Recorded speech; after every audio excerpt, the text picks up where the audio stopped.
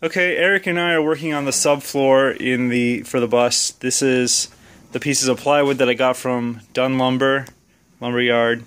They have their tongue and groove pieces. You can see this is the the groove, and uh, yeah, and then the other side is the tongue. Um, these are made for being inside of a house, it was hard to find something that would work well for the the bus, which is going to have a lot of moisture changes. But I think this is about as good as you can go. This is three quarter inch thick, so that it'll be a good anchor for any studs or anything that's in there. Um, the inside of the bus right now is fully insulated. The floor is insulated with uh, rigid foam insulation. Uh, so what we're doing is gluing the we're we're cutting the pieces we're gluing the uh, the insulation down and then we're gluing these pieces to the top of it and they will work as anchors. Um, the tongue and groove should hold it all together really well. And then around the edges I'm going to use liquid nails to, to hold everything into places so it doesn't like uh, shift around.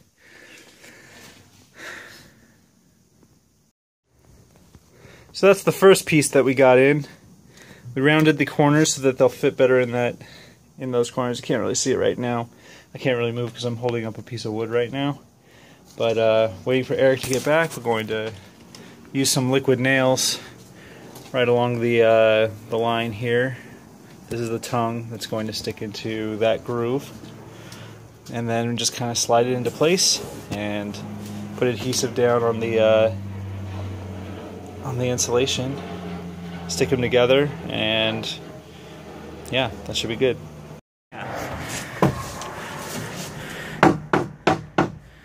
Alright, so we got the wood in the groove. It's lined up okay, good enough for a subfloor. Put adhesive down.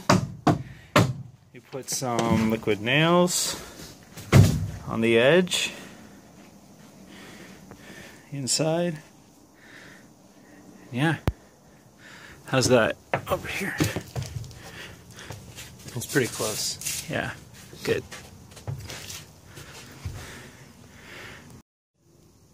Really? Yeah. Why? Because it makes my gloves all sticky.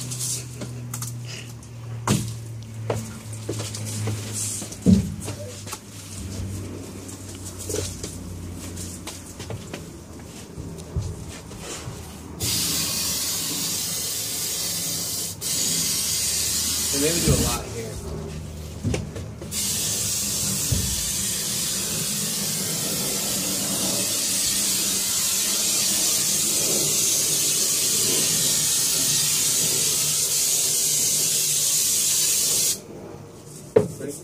Yep.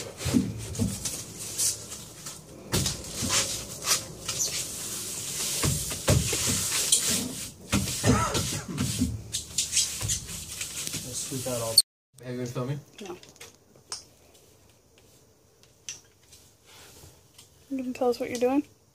I am putting liquid nails into the groove of this tongue and groove piece of plywood.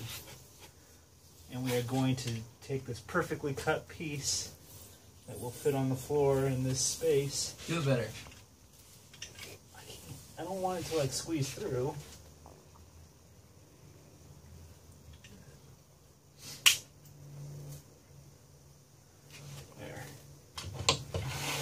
Should probably spray this first. Now I'm taking some adhesive and we are spraying on top of insulation. Bonus if you hit Eric. No.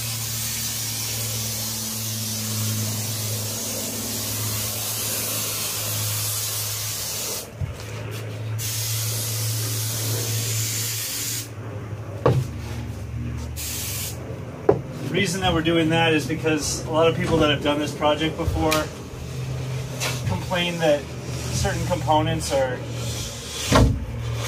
too squeaky when they move down the road and they wish that they had put adhesive on everything to kind of keep stuff from sliding against itself.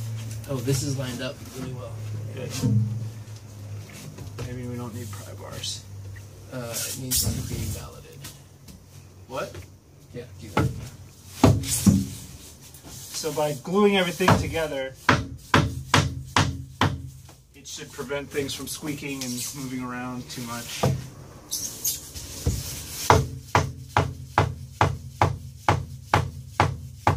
How's that look? Good. Good. We're gonna have to put some weight on it too to hold all the glue down for a while. I feel like it needs to twist a little still. All right, it's the celebratory play on your phones time. we just finished the floor of the bus. Uh, well, the subfloor of the bus. There's going to be hardwood floor to go on top of it, but got to put some weight down on the sides. But everything is held down with adhesive and liquid nails.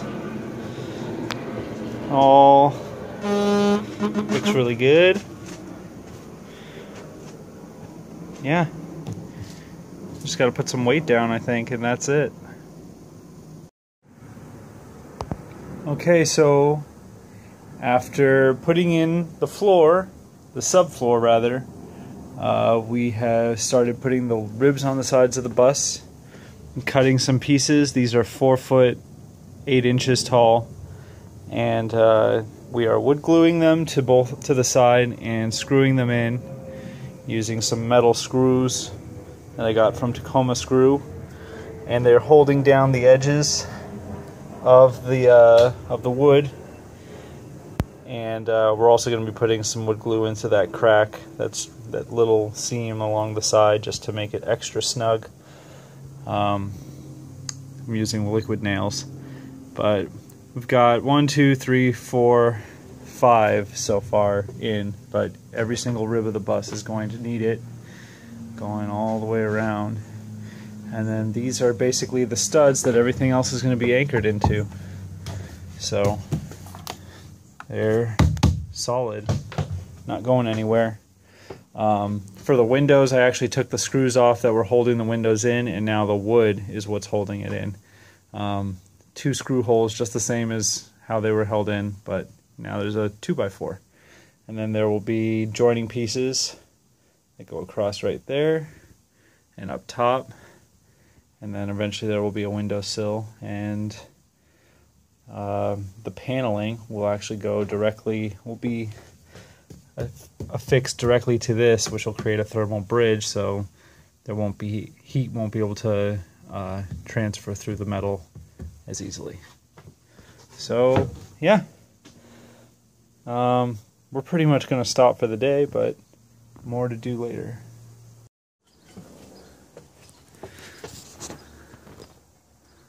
Julene is putting the liquid nails into the crack,